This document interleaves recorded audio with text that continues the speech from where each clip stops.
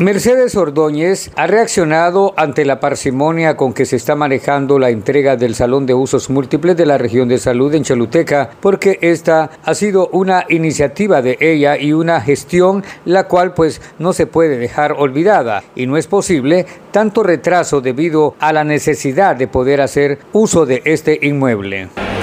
Bueno, cuando se construyó el proyecto, que por cierto lo lo construyó el arquitecto Zúñiga, dentro del proyecto iba el equipamiento.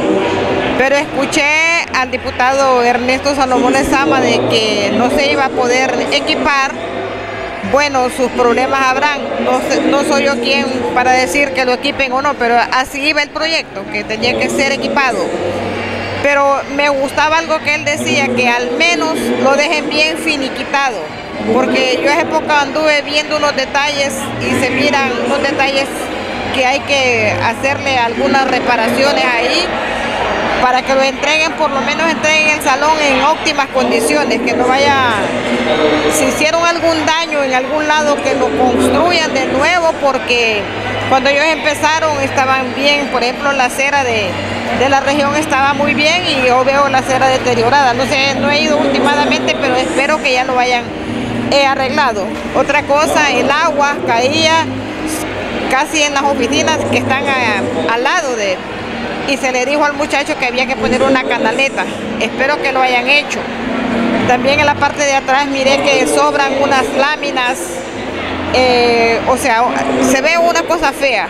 Y yo le pido encarecidamente al que, al constructor o al que agarró este proyecto que si no se va a equipar porque ya no se puede, pero que al menos lo terminen para que lo entreguen, porque la región departamental está necesitando este salón, desde qué tiempo está ya hecho, entonces que lo entreguen para ver de qué manera pues se buscan algunas estrategias para seguir buscando la, la parte que falta, que ya pues equipar es lo de menos pero que ya, por favor, que ya lo entreguen. Criticó además que la compañía o quienes tienen a su cargo esta responsabilidad le estén dando mucha larga a este asunto porque es poco lo que resta para poder hacer entrega de este salón o este edificio, pero también debe de entregarse muy bien hecha la obra. Sé que el los mismos diputados que consiguieron el dinero, que es el el diputado Lezama y el diputado Brian no estuvieron encima de este proyecto porque había una persona que estaba encargada.